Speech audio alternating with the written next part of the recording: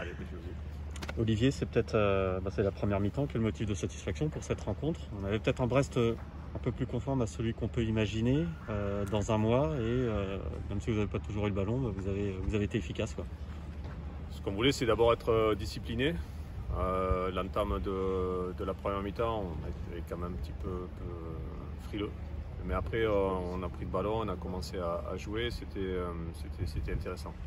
Après, euh, sur la deuxième mi-temps, il y a eu des choses aussi intéressantes, il y a eu une certaine discipline. Il y a, eu beaucoup de, changements et beaucoup de, jeunes joueurs qui font leur apprentissage, donc c'est pas toujours évident. Je pense que voilà, il y a eu quelques fautes là-dessus. Mais euh, ça reste un match, euh, intéressant. Ça nous permet aussi de voir qu'un match c'est fragile. Euh, Quand on mène 2-0 et qu'on a un pénalty, ben, voilà, il n'y a rien de, fait. Donc ça aussi ça, ça m'arrange bien parce que derrière on peut corriger. Je pense que sur des matchs comme ça, il faut savoir euh, aussi euh, bien, bien analyser les, euh, les erreurs. Il faut, il faut faire des erreurs pour les analyser. Il y a cette efficacité en première période qui vous permet de, de prendre deux buts d'avance. Ouais. ouais. Oui, oui, oui, il y a un bon coup franc, voilà, donc des fois ça joue à pas grand chose aussi pour déclencher quelque chose derrière.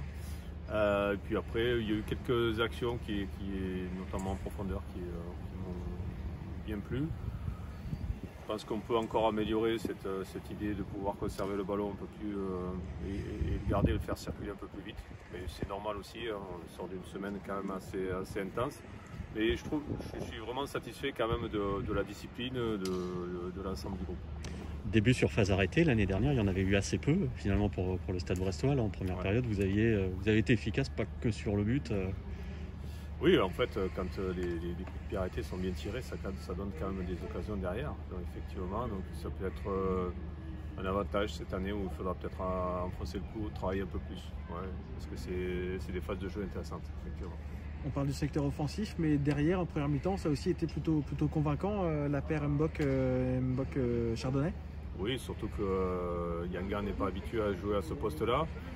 Euh, je pense qu'il y a eu, oui, oui, effectivement, des, euh, des bonnes choses de ce côté-là. Après, euh, une ou deux relances, ça a vraiment encore à, à travailler là- là-dessus. Mais sur euh, des garçons qui ne sont pas trop euh, habitués à jouer ensemble, c'est euh, correct. C'est pour ça que dans l'ensemble, je, suis- je suis satisfait. Parce qu'en fait, il y a, il y a cet état d'esprit qui se dégage et quand il y a ça, derrière, on peut avancer. Est-ce que tu te.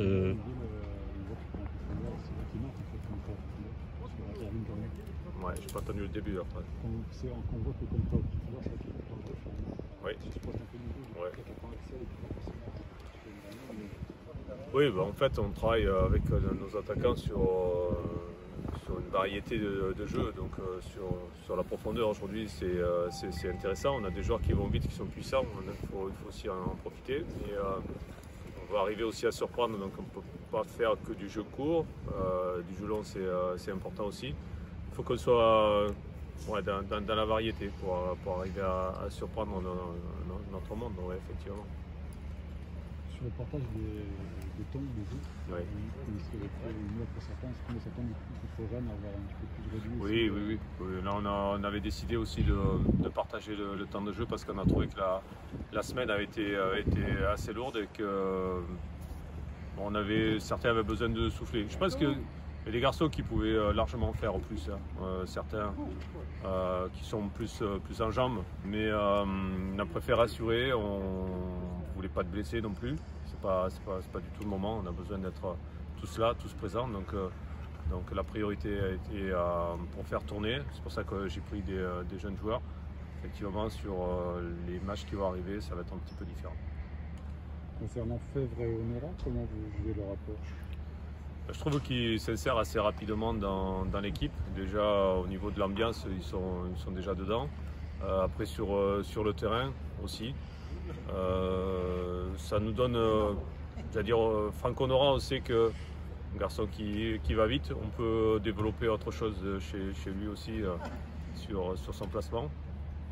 Qui sont encore plus, plus efficaces, on a commencé déjà là- là-dessus. Et puis après, euh, pour Romain Fèvre, euh, je pense que c'est un garçon qui peut jouer à plusieurs postes et euh, qui va être précieux. On l'a vu sur, sur le deuxième but là, de, de- Cardona, c'est lui qui récupère le ballon assez bas et qui, qui, qui relance. Donc je pense qu'on a deux joueurs qui sont, sont des atouts assez intéressants pour, pour le futur. Sur mercato, il y a, il y a un joueur qui est trouvé annoncé à l'Est, le portugais Ricardo Tavares. Ouais. Euh, je te confirme pas parce que tu, tu- tu sais comme moi que des fois on a des surprises. et- Quand c'est pas signé, moi je confirme rien du tout.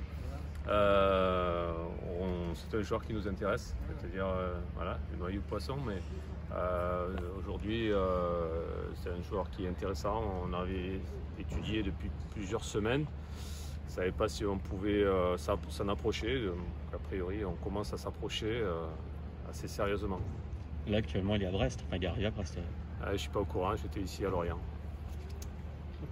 Qu'est-ce qui t'intéresse dans son profil? C'est un centre gauche, c'est. euh, un, garçon qui peut jouer des deux côtés sur ce profil, qui éventuellement peut dépanner dans l'axe. Donc c'est un joueur polyvalent, ça reste toujours quelque chose d'intéressant pour moi. Euh, c'est un profil au- aussi euh, joueur et euh, qui travaille beaucoup dans la percussion et qui a, qui a le, le dribble facile. Donc aussi ça peut, ça peut déclencher pas mal de, de choses aussi. et Ça peut, ça peut venir nous aider. C'est pas un joueur dont on a le profil actuellement, donc euh, ça, ça peut vraiment nous aider. Merci. Merci. Allez, bon retour.